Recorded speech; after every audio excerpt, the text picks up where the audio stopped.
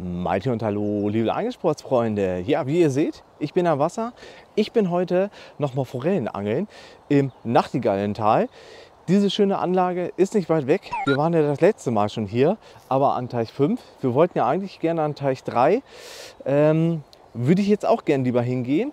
Aber ich brauche heute nicht so große Forellen. Ich brauche Forellen so zwischen ein Kilo, äh, zwischen 500 und 800 Gramm. Da passt der Teich 1 definitiv besser zu mir heute und ich habe heute auch nur einen halben Tag Zeit.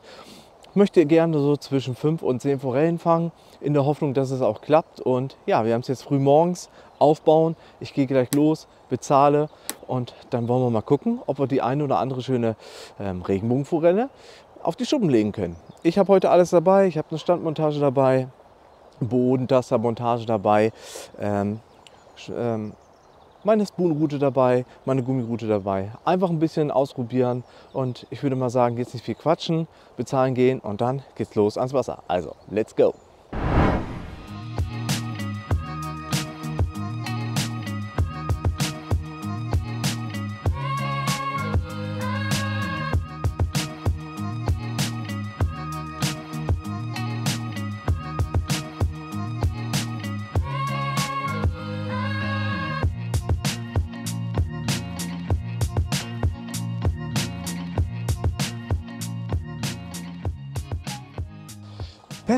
Bezahlt ist. Die Grundmontage, wie ihr gesehen habt, liegt. Ich habe jetzt ungefähr 50 cm auftreibend mit Powerbase Banana Boost. Habe die links von mir gelegt, so dass ich rechts und geradeaus ein bisschen Platz habe, aber auch ein bisschen links werfen kann. Anfangen werde ich jetzt mit meiner Spoon-Route. Das ist von Abu Garcia die ähm, Real Finesse, die Eradicator.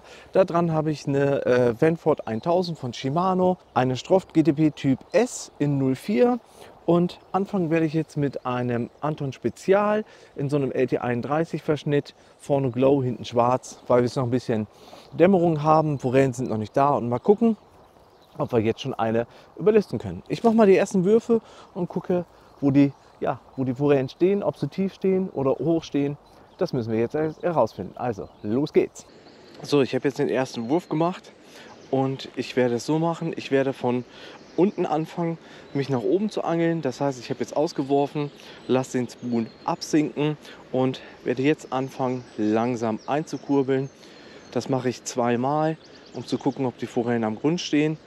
Dann gehe ich ein bisschen weiter höher, lasse nicht komplett absinken. Ähm, und ähm, ja, arbeite mich dann quasi die Wasserschicht nach oben durch und werde auch probieren, verschiedene Spoons auszuprobieren. Ich bin gespannt, ob das heute klappt. Wir werden sehen, vielleicht sind sie auch sehr, sehr passiv und die äh, ja, Standmontagen sind heute eindeutig besser. Wir haben Temperaturen jetzt gerade um die 0 Grad. Im Laufe des Tages sollen die noch auf fast 10 Grad hochgehen. Mal schauen, worauf die Forellen Bock haben.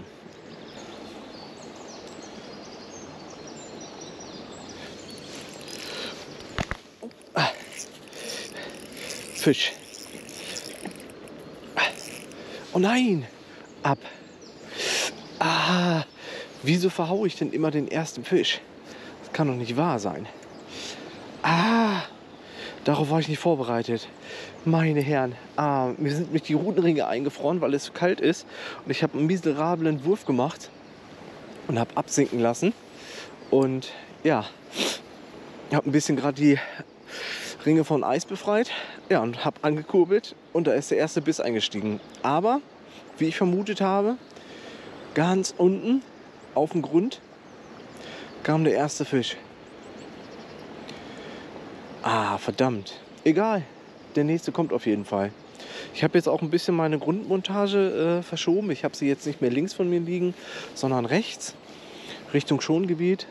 Somit habe ich vor mir und links die ganze Bandbreite für mich alleine, wo ich den abwerfen kann, um zu gucken kann, wo die Fische sind. Und ja, da hatten wir den ersten Anfasser. Ärgerlich. Naja, die nächste kommt auf jeden Fall. Ist ja noch gar kein Besatz drin. Das wäre auf jeden Fall die erste Form Besatz gewesen.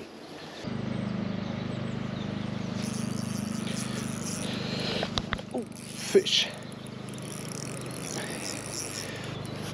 Da haben wir doch die erste. Sehr cool. Oh, oh, sehr schöne. Sehr schöne Forelle. Ei. Oh, die sind aber kampfstark. Sehr, sehr, sehr cool.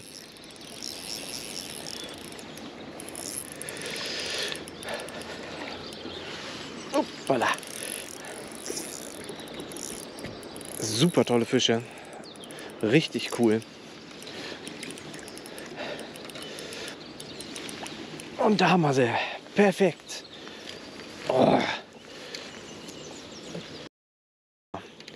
Was für eine schöne Größe für eine gute Portionsforelle. Sehr, sehr, sehr cool. Geil. Jawohl, da hat es doch mit der ersten schönen Forelle geklappt.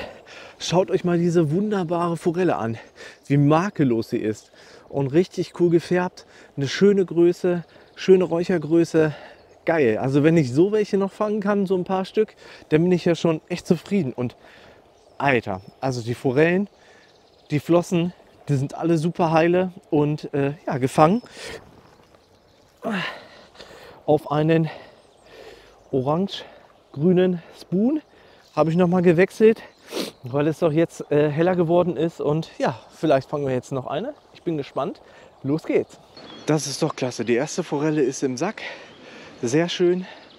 Äh, die habe ich jetzt auch relativ weit oben gefangen. Der Besatz ist jetzt auch reingekommen. Und äh, ja, vorher war auch schon Besatz drin. Hatte ich ja, wie gesagt, einen Anfasser. Und äh, die Forelle hat jetzt relativ weit oben gebissen. Also die neuen Forellen sind noch nicht nach ganz unten gezogen wie die anderen, die hier vorher schon drin waren. Und ja, mal gucken, ob das so bleibt, ob die Forellen oben bleiben oder ob sie auch eine Nummer runterwandern. Aber das müssen wir austesten. Ich bin jetzt echt heiß. Jetzt ein bisschen Bewegung im Wasser und ja, let's go.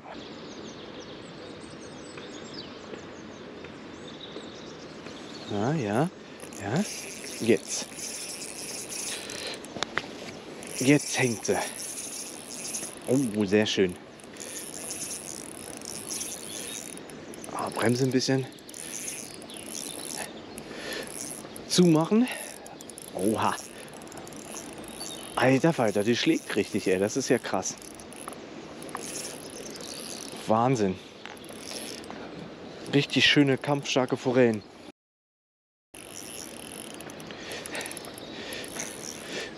Wow, klasse.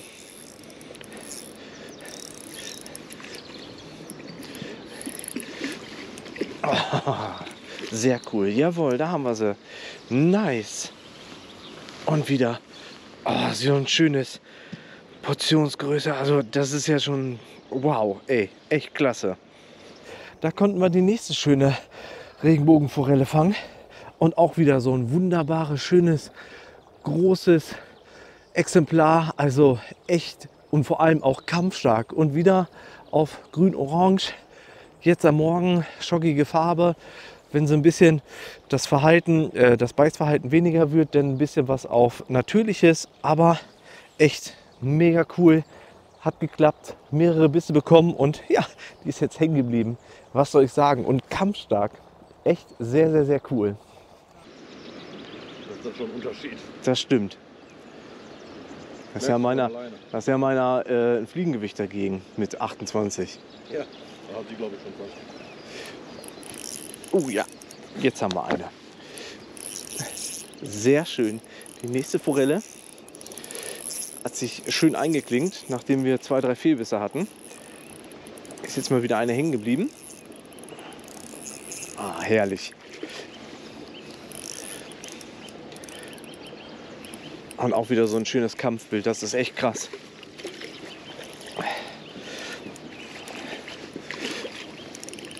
Und eingenetzt. Perfekt. Oh, Haken ist auch schon los. Also da kann man sehen, dass sie doch sehr spitz beißen, aber sie haben Bock zu beißen. Sehr cool. Und da haben wir die nächste schöne Forelle. Also diese Portionsgröße, die gefällt mir richtig gut. Die ist richtig, richtig gut zum Räuchern. Und ja, die Forellen sind in Beißlaune. Richtig schöne Färbung. Richtig goldener, äh, rosaner Streifen in der Mitte. Ah, das gefällt mir doch. Richtig, richtig cool.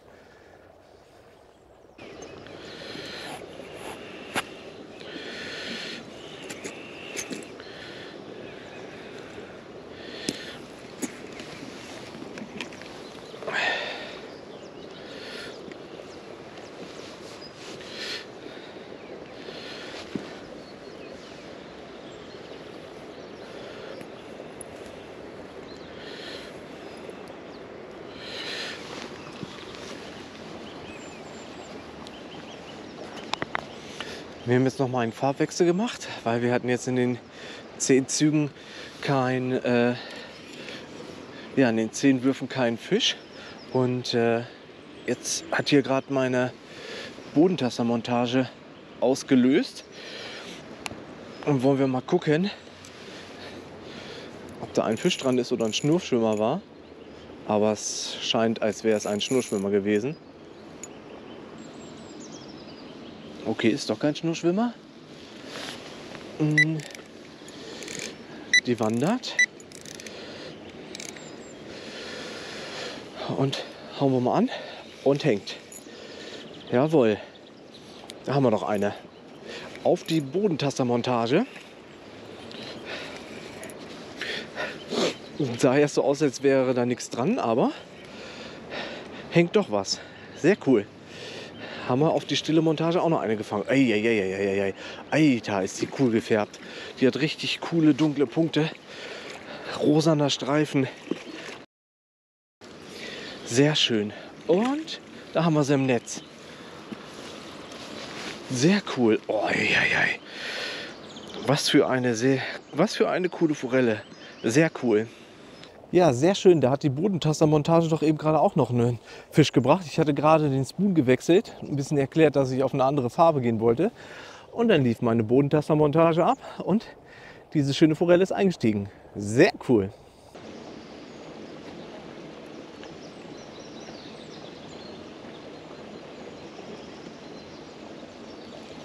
Jo, jo. Da habe ich aus Versehen gerade die Kamera ausgemacht beim Biss, aber ist nicht schlimm. Können wir es ja wieder anmachen. Da haben wir die nächste schöne. Hat ein paar Würfe jetzt gedauert, aber wieder eine schöne kampfstarke Forelle. Und da haben wir sie im Kescher. Oh. Und sind große Fische, ja, ja. Fast ein Kilo. Also echt Wahnsinn. Geil. Ja, da konnten wir die nächste schöne Regenbogenforelle fangen. Auch wieder so ein schönes Prachtexemplar. Also ich kann es nochmal wiederholen, die Größe ist hier echt top, super zum Räuchern und ja, auf unseren SAR-Spoon in äh, blau-orange. Ich halte ihm gleich nochmal die Kamera. Ja, Wahnsinn. Also ich mache weiter und ich hoffe, dass wir noch so schöne große Forellen kriegen können. Los geht's. Und Fisch.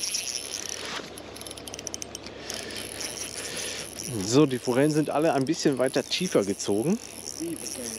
Ja, und äh, eben gerade waren sie noch relativ weit oben an der Oberfläche. Jetzt sind sie aber tiefer gezogen. Und ich habe auch noch mal einen Farbwechsel vollzogen. Ich habe von äh, blau-orange auf weiß gewechselt. Und da haben wir sie im Kescher. Jawohl. Da konnten wir die nächste schöne Regenbogenforelle fangen.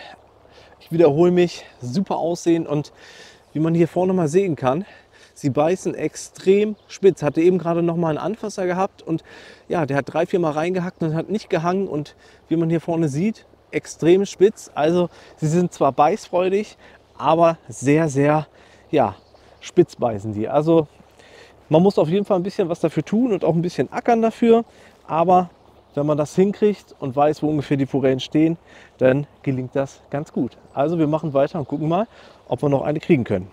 Los geht's.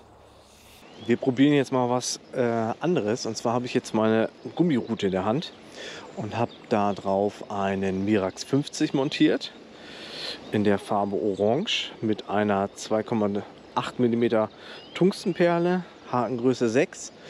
Hm, wir wollen mal probieren, die Forellen so ein bisschen äh, langsamer zu beangeln.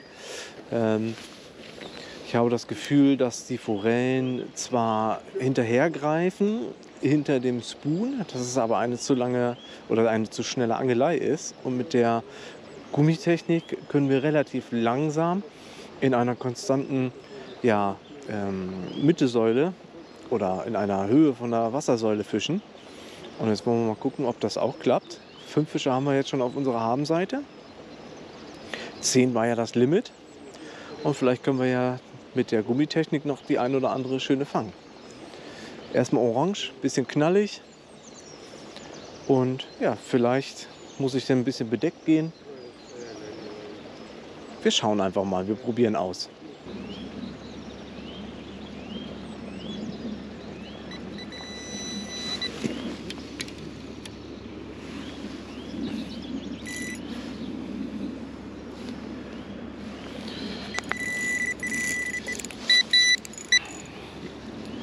So, die Bodentastermontage läuft ab. Wir lassen ihn noch ein bisschen schlucken und hängt. Sehr schön. Ja, hab ihn, ja.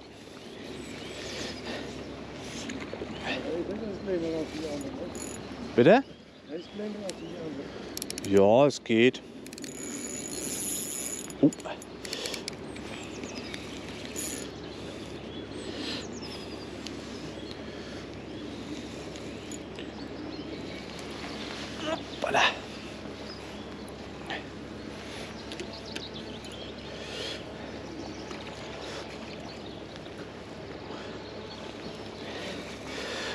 Hat die Bodentassermontage doch noch einen Fisch gebracht.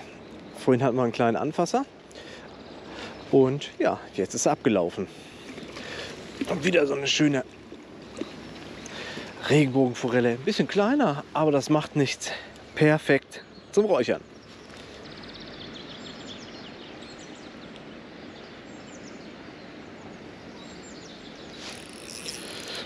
Oh, Fisch.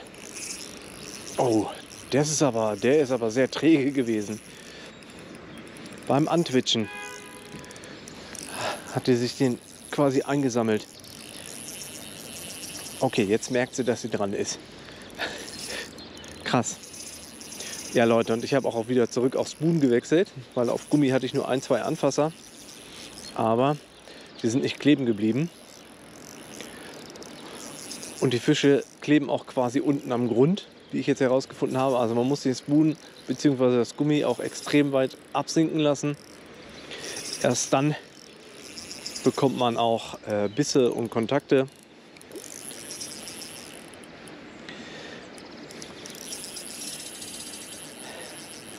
Junge, wo möchte die denn hin? Na, die will wieder zurück in die Tiefe.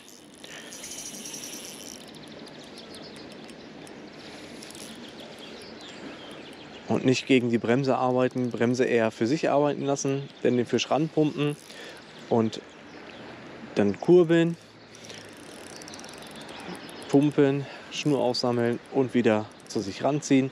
Und jetzt hat die Forelle gleich ja, einmal Luft gezogen. Und dann kriegen wir sie auch gleich besser in den Kescher rein. Aber die will noch nicht. So. Na? Jetzt aber. Jetzt nur nicht aussteigen. Ei. Also die sind wirklich kampfstark. Ich wiederhole mich da, aber ihr seht es ja selber. Kampfstark. Das macht auf jeden Fall Laune, den Fisch zu drillen. Und jetzt haben wir sie im Kescher. Perfekt.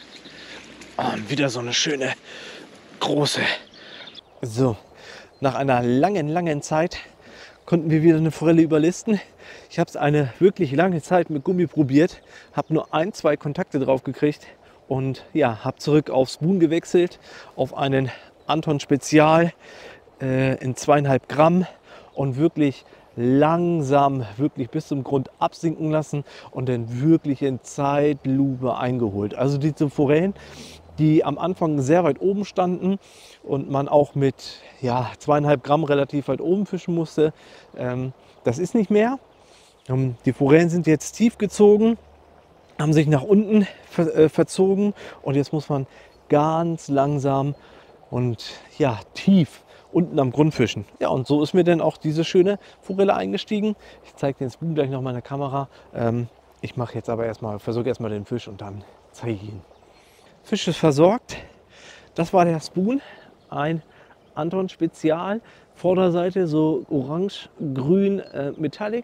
Auf der Rückseite ist er Gold mit schwarzen Partikeln, roten Flakes. Und ja, das hat mir gerade noch mal einen Fisch gebracht. Ich werde das Ganze jetzt noch mal ausprobieren. Aber wie gesagt, man muss wirklich tief, sehr, sehr, sehr tief fischen. Ich wollte ja jetzt eigentlich eher mit Gummi äh, fischen, weil wir ja jetzt insgesamt schon sieben Forellen haben. Zwei auf äh, die Bodentastermontage und fünf jetzt auf Spoon. Und äh, ja, ich wollte eigentlich noch ein paar auf Gummi fangen, aber wie gesagt, auf Gummi habe ich wirklich nur ganz, ganz kleine, sanfte Anfasser gekriegt. Ich werde das Ganze gleich noch mal ausprobieren und hoffentlich vielleicht noch eine auf Gummi fangen. Jetzt kommt auch so ein bisschen die Sonne raus, das heißt, man kann gleich schön in das Gewässer reingucken und dann vielleicht auch mal ein bisschen gezielt mit der Gummiroute die äh, Fische bzw. die Forellen anwerfen und vielleicht noch so eine kriegen. Ja, aber bisher macht es schon extrem Laune. Forellen sind kampfstark und sehen dabei sogar noch super gut aus. Flossen sind alle heile und ähm, die Zeichnung der Forelle echt top hier im äh, Nachtigallental. Fisch. Ei.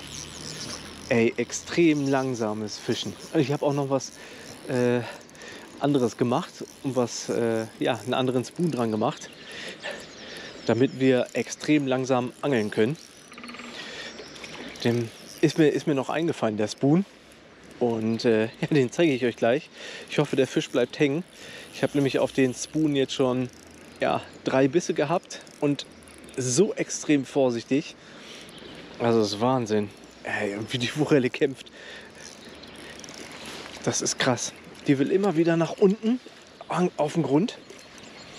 Und das ist krass. Also so ein Verhalten kenne ich sonst meist eigentlich nur von Tigerforellen. So, jetzt haben wir ihn im Kescher.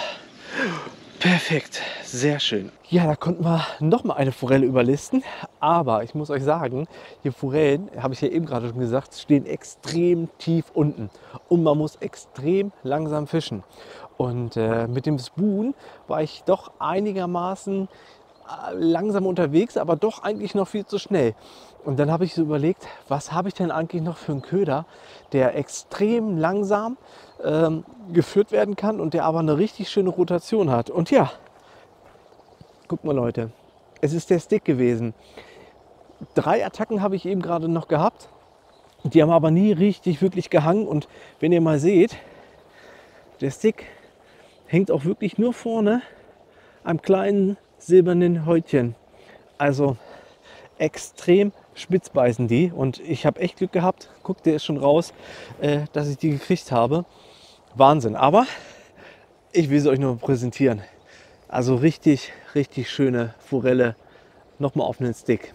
Und jetzt probiere ich mal noch mal ein bisschen Gummi aus. Mache aber erst eine kleine Kaffeepause.